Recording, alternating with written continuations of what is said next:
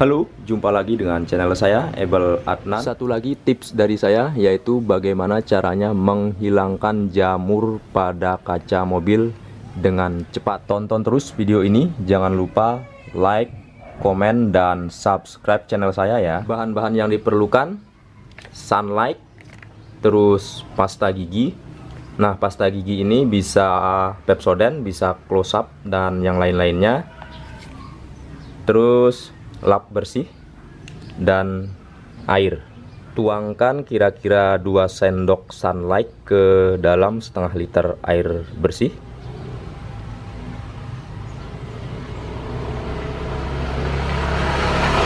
Lalu diaduk tentunya ya.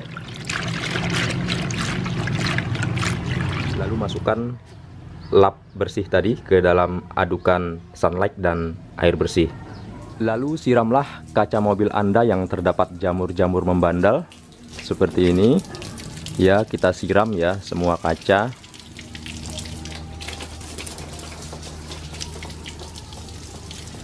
Nah, setelah itu ini yang terpenting keluarkan isi Pepsodent dan oleskan ke kaca mobil yang terdapat jamur-jamur membandel. Lalu isi Pepsodent tersebut disapukan atau diratakan ke semua bagian kaca mobil. Kita ratakan.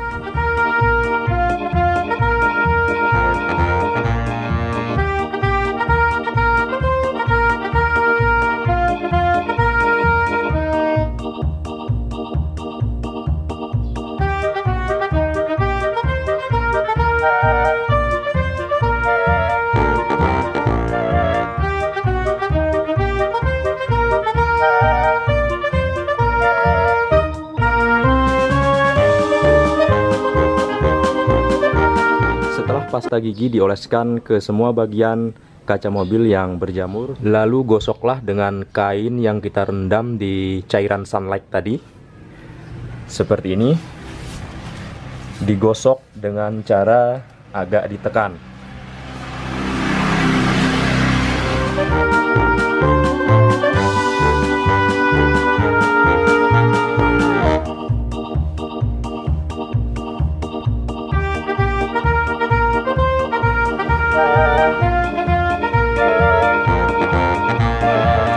Lalu yang terakhir, bilaslah dengan air dengan menyiramkan air ke seluruh bagian kaca yang sudah kita gosok tadi.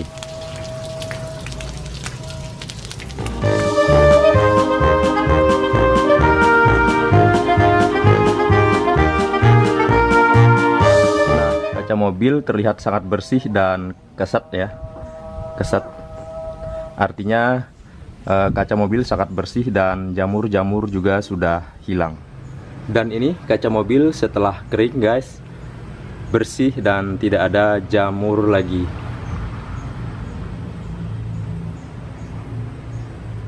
Baik sahabat, itu dia tips mudah dari saya cara menghilangkan jamur kaca mobil yang membandel. Semoga bermanfaat, sayangi mobil Anda, selamat beraktivitas dan salam sukses.